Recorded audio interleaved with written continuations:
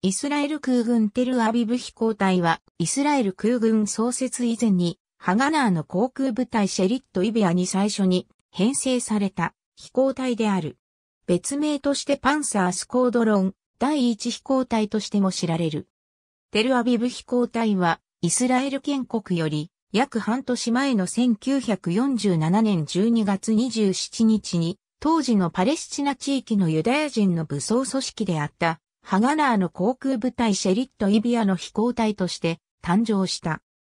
つまりこの時点でユダヤ人の航空部隊としてはテルアビブ飛行隊のみが存在したわけで、運用する航空機もそれまでユダヤ人勢力が集めて使用していた RWD-13 やドラゴンラピード、オースターといった多様な機種をすべてそのまま引き継いでいたが、立った飛行場で故障していた一機の RWD-15 だけは放棄された。テルアビブ飛行隊は、テルアビブ近郊のスデドブ基地を拠点に連絡、輸送、攻撃、護衛、飛行訓練など様々な任務を行うこととなった。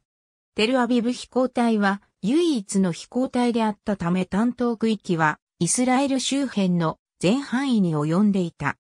シェリット・イビアの保有航空機が増え、1948年3月に2番目の飛行隊として南部方面を担当するネゲブ飛行隊が編成され、続く4月に北部方面を担当するガリラヤ飛行隊が編成されると、テルアビブ飛行隊の担当区域はイスラエル中部となった。また同じ頃に、スデドブ基地を拠点に写真偵察を行う小規模な飛行隊として第4飛行隊が編成されたが、1から2ヶ月程度で活動を縮小しており、人員や機材はテルアビブ飛行隊に吸収されたとみられる。また、スデドブ基地は1948年5月の独立島でイギリス空軍の管轄下にあったため、それまでイギリス政府により法とされていた重機や爆弾の輸送や密輸入はイギリス軍の監視をかいくぐって行われていた。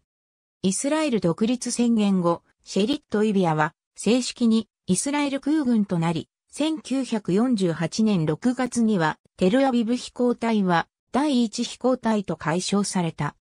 同時にネゲブ飛行隊は第二飛行隊、ガリラヤ飛行隊は第三飛行隊と解消されている。テルアビブ飛行隊はピーク時には21機から22機程度の航空機を運用していた。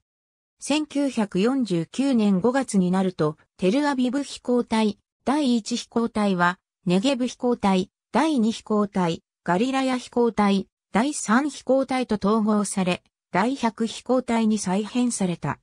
第100飛行隊はその後もイスラエル空軍の軽輸送、連絡などを担当する飛行隊として現在に至るまでスデドブ空港を拠点に活動を継続している。ありがとうございます。